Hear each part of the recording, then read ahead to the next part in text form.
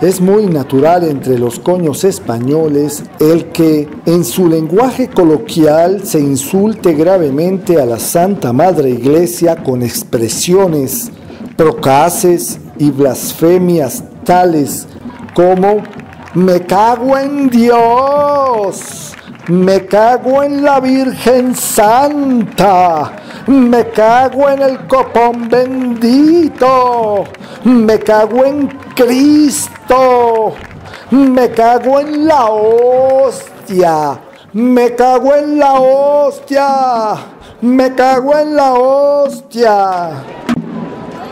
Son exabruptos muy normales que hacen parte ya de las tradiciones populares y que se usan cotidianamente sin ruborizarse.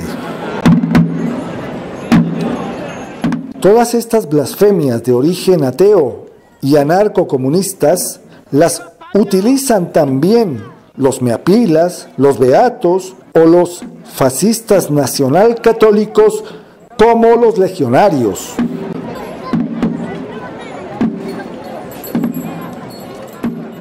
De esta manera, los vasallos del Reino de España demuestran su gran cultura idiomática que los coloca en lo más alto de la pirámide civilizatoria.